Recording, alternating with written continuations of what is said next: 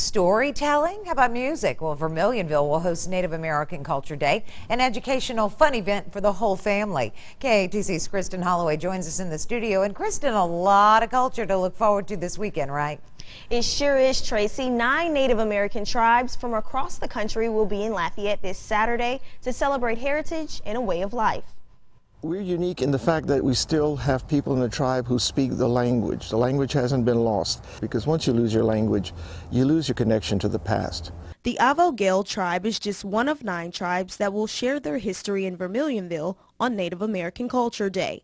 Chief Mayo says his tribe looks forward to this day every year. We're going to be doing uh, gourd dancing and we're also going to be doing a demonstration with beadworking.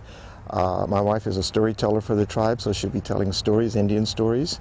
Uh, we're going to have uh, exhibits of different items from the past. Many of the tribes make it their goal to really show children their food, music, and traditions. And the fact that we've been able to preserve what we do have, um, you know, from the past, and it's been very hard to preserve it.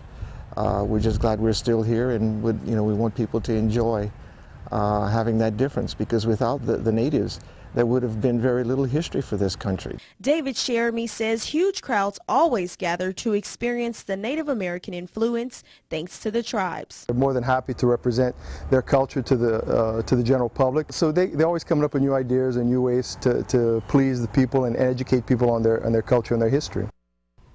Now, this event is this Saturday from 10 to 4, and it's free to the public. Also, that day, there will be a groundbreaking ceremony to unveil the plans for Native American expansion at Vermilionville. For a timeline of events on Culture Day, head over to KATC.com. Live in the studio, I'm Kristen Holloway. Good morning, Acadiana. Thanks, Kristen. Bottled water sales in Louisiana's St. Bernard Parish have skyrocketed as officials try to pin down those